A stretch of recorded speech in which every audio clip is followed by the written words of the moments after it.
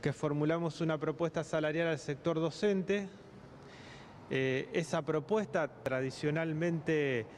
eh, en, lo, numérico es una, es una propuesta que la provincia aplica no solo a ese sector, sino a todos los sectores que, componen la, administración central o los sectores que negocian en el marco de la administración central, porque es muy difícil hacer una, una discriminación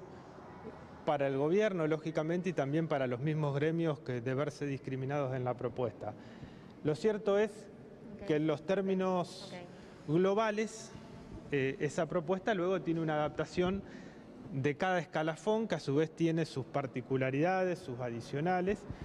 y por lo tanto, de alguna manera corresponde que le hagamos conocer, en este caso a los gremios de la Administración Central, eh, cuál es el, el ofrecimiento que, venimos haciendo y eso lo hicimos en la, en la mañana de hoy. Señalar, eh, ustedes ya lo habrán advertido o lo habrán ido conversando con,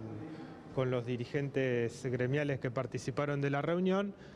eh, que ellos la están considerando esta propuesta como, como insuficiente o están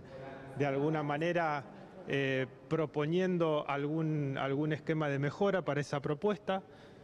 Nosotros, eh, ¿cuál es, digamos, de alguna manera la, postura que tenemos? Al día de hoy la propuesta que tenemos es la que se conoce, está siendo evaluada